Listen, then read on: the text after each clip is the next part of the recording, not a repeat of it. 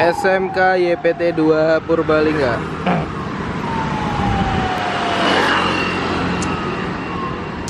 Pada bulan November 2020